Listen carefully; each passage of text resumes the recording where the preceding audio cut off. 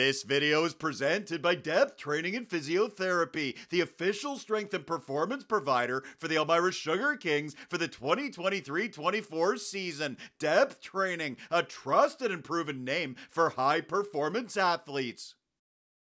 Sunday night GOJHL action from the Dan Snyder. to The Elmira Sugar Kings hitting the ice, getting set to host the hottest team in the league, the Ayr Centennials, who still haven't lost a game in the new year. First period of this one, and it's Ayr going to get on the board first. Ben Moldenhauer spinning around on the far dot. He fires it over the shoulder of the netminder. Moldenhauer has the Cens up 1 0 early in the first period with a power play goal. Still in the first frame, Elmira looking to respond, and that's exactly what they will do. As Nate Gravel down on this puck in the corner, he'll win this battle and feed it back out front. Ian Spearin tries, he's stopped, but the rebound right there as Bryce Thompson nails his first in the green and yellow. And the Elmira Sugar Kings have knotted it up. It's one apiece in the first frame.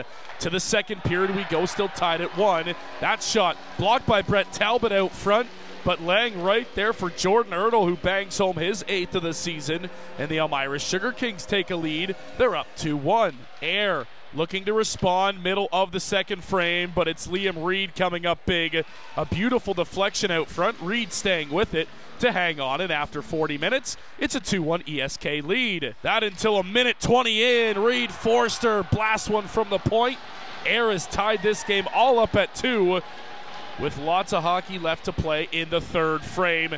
And the Centennials, just three minutes later, would come back. Keaton Bartlett hopping up in the rush. Bartlett buries his third of the season. Couldn't have picked a better time for it. And look out, the Centennials have retaken the lead. They're up three to two.